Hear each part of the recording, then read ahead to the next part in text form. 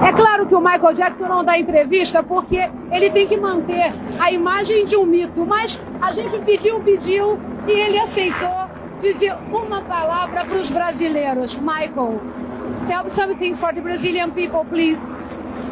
I love you, Brazil. Thank you very much. I love you too. Thank you. Quanta saudade do Michael Jackson. Raquel Sherazade, em vídeo, desabafa, dispensada por e-mail. SBT pode conseguir os jogos do Brasileirão da Globo. Carol Solberg, aquela do Fora Bolsonaro, pode ter que pagar 100 mil reais. Glória Maria detona o politicamente correto. Lembra do filme O Chamado? Infelizmente, a atriz, superatriz, faleceu.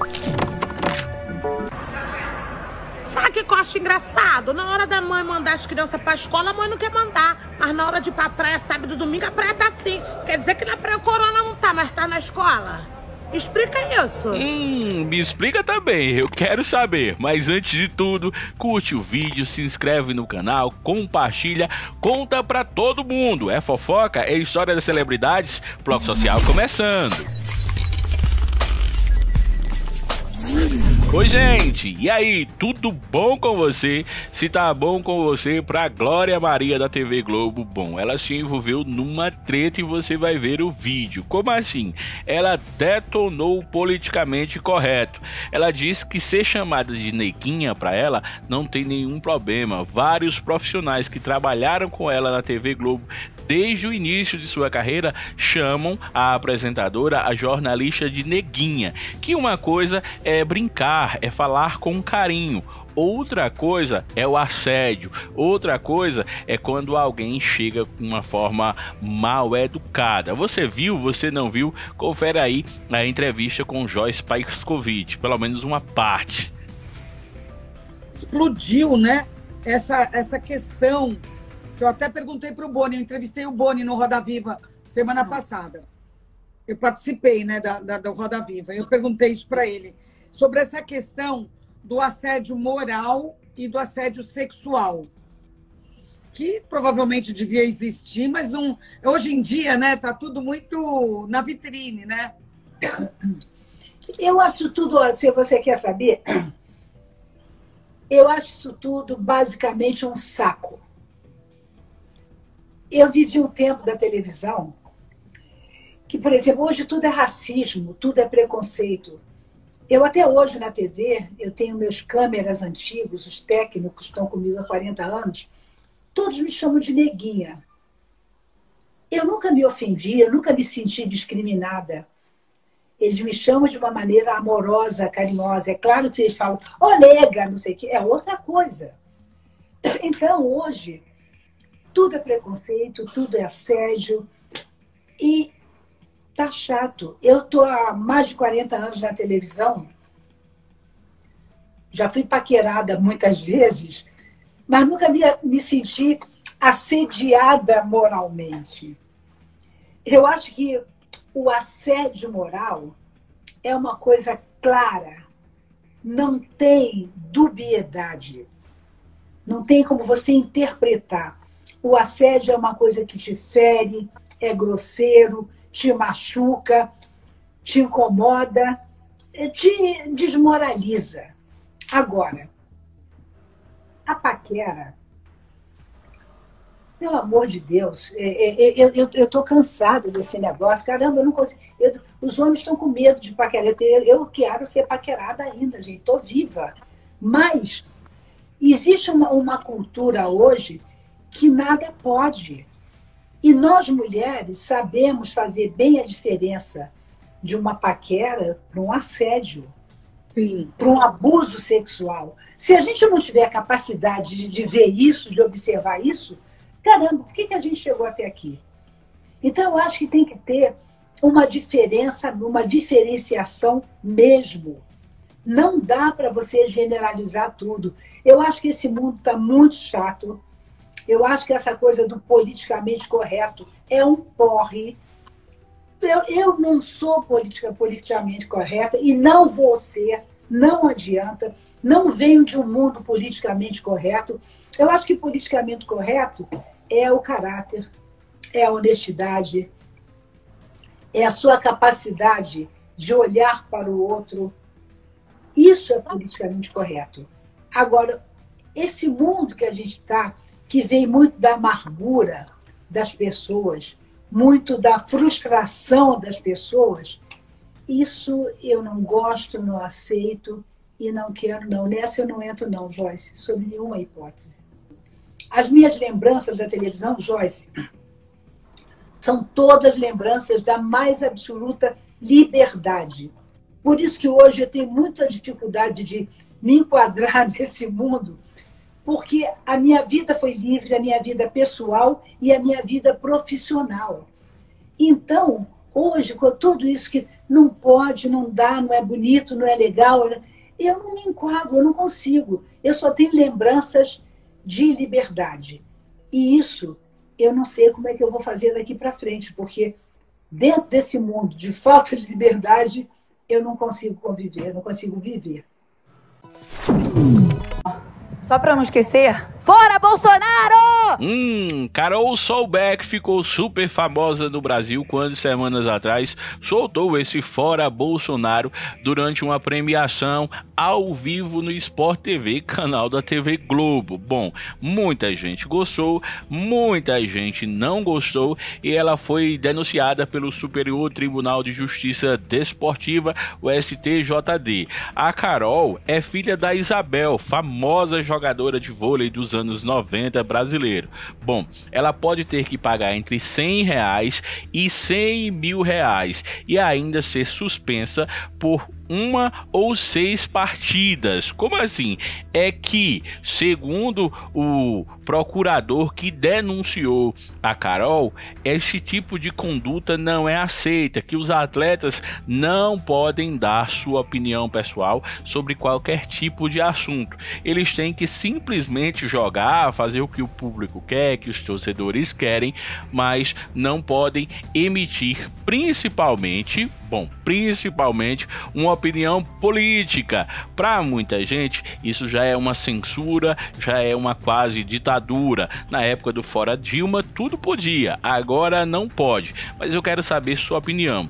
Se fosse fora Lula, fora Dilma, fora Bolsonaro, fora FHC, pode ou não pode? Ou só com uns pode e com outros não pode? Será que o comportamento do STJD pode ser considerado censura? Sim ou não? Hum, o assunto pegou mal e revoltou muita gente na web. Claro que teve aqueles que comemoraram. Como assim? Que a Raquel Sherazade já estava praticamente fora do SBT e do SBT Brasil?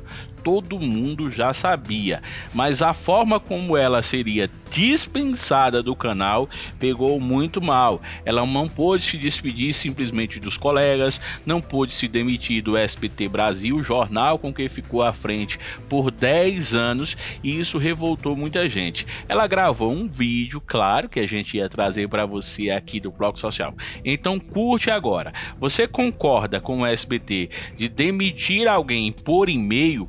Sem deixar com que ela simplesmente se despedisse dos seus colegas de trabalho, mesmo que fosse anunciado: olha, no vídeo você não vai poder mencionar nada. Aqui atrás a gente vai cortar um bolinho, vai ter uns salgados, vai ter uma bebida, um coquetel para a gente se despedir de você. Bom, o SBT preferiu dizer a ela que o trabalho dela estava dispensado, que ela não precisaria mais voltar ao canal E aí, pegou bem, pegou mal? Você quer ver o vídeo? Então veja agora e deixe sua opinião que eu quero saber. Pegou mal, pelo menos para mim. Olá, boa noite, meus amigos, meus seguidores, meus telespectadores. Bem, como você já sabe, há cerca de um mês eu e o SBT decidimos não renovar a nossa parceria de quase 10 anos, né? 10 anos de trabalho junto. Nosso contrato, então, deveria seguir até o dia 31 de outubro né, desse ano, mas o SBT me comunicou através de um e-mail que a partir de hoje, segunda-feira, dia 28 de setembro, eu não mais precisaria voltar à emissora e, portanto, apresentar o SBT Brasil. Então, a empresa dá por cumprido o nosso trato. Mas em nome dos quase 10 anos que eu estive à frente do SBT Brasil, que é o principal jornal da emissora, e sendo, portanto, a jornalista que mais tempo esteve representou esse noticiário, esteve à frente da bancada, que aliás o SBT Brasil completou 15 anos agora em setembro, e desses 15, 10 anos eu estive à frente. Bem, eu achei que seria de bom tom, né? É, não sair a francesa. E em consideração, em respeito a vocês, meu público, eu venho, nesse horário habitual dos jornais, né, dos telejornais, dizer adeus a vocês. Não, adeus não, um até breve.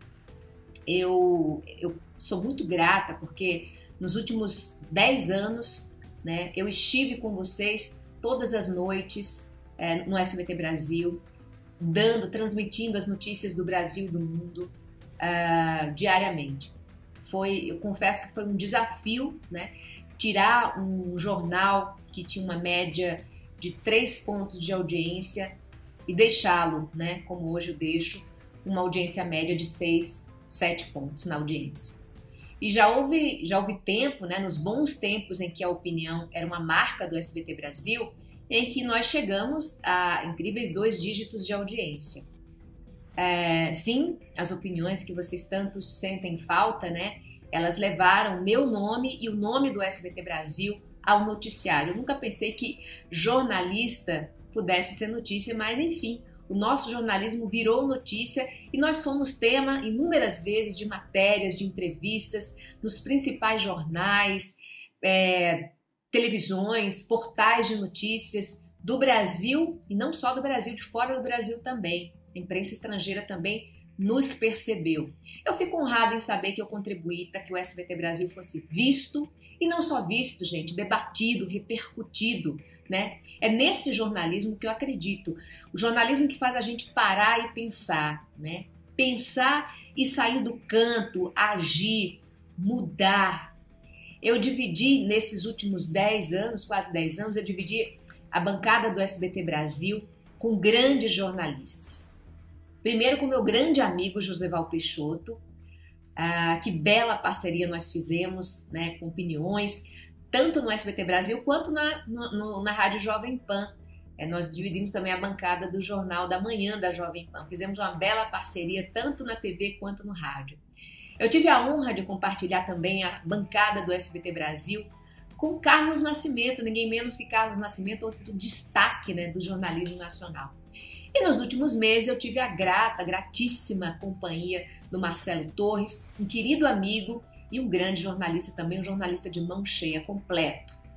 Bem, eu infelizmente não tive a oportunidade de me despedir dos meus telespectadores, dos meus colegas, dos meus amigos que eu fiz na emissora e por isso eu estou tentando fazer agora. Eu não posso, claro, vocês sabem, não posso citar todos os nomes, mas sim, eu vou sentir muita falta de vocês, Silene, Rodrigo, Camila, Mari, Vini, Fabiano, Carlinha, o Cris, a Ceissa, a Lili, a Mazel, o Dedé, a Shirley, Rosinha, Rony, Comandante Regis, o Aurélio, meu Aurélio, Sandrinho.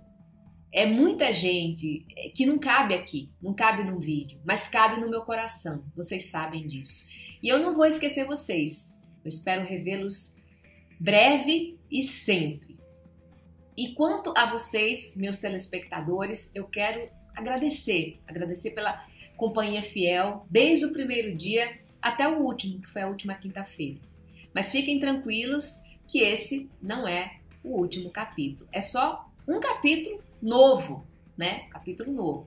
Capítulo cheio de expectativas, de sonhos, de desafios, do jeito que eu gosto, de possibilidades, é assim que eu gosto. Porque eu sei que cada escolha equivale a uma renúncia, a gente não pode né, abraçar o mundo. E eu escolhi seguir em frente, mudando, crescendo, evoluindo como jornalista.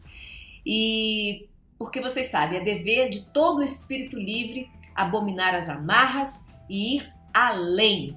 Então, muito obrigada a todos vocês e até breve. Um beijo no coração. Boa noite, Brasil. Tchau. A atriz japonesa Yuko Takeuchi foi encontrada morta em sua casa em Tóquio, segundo a BBC. A atriz tinha 40 anos e foi encontrada pelo marido, Taikei. Yuko teve a morte confirmada em um hospital da capital japonesa. De acordo com a publicação, a polícia abriu uma investigação sobre a morte e a suspeita de outros casos que poderiam ter acontecido.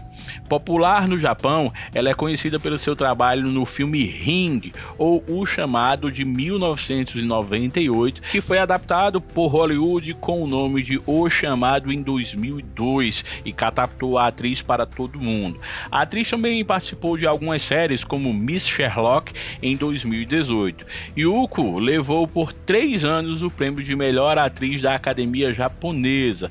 Em um comunicado, a agência que representa a atriz diz que está chocada e triste essa notícia. Claro que muita gente no mundo inteiro conheceu a Yuko com o filme Ring ou O Chamado, que marcou muita gente que adora os filmes de suspense. Que ela descanse em paz e que os dois filhos que ela deixou por conta do marido vivam também em paz. Vai deixar muita saudade, claro, marcou a vida de muita gente que ama os filmes de suspense. E aí, gostou das notícias? Curte agora, deixa seu comentário que a partir de essa semana a gente vai comentar também os comentários nos vídeos do Bloco Social.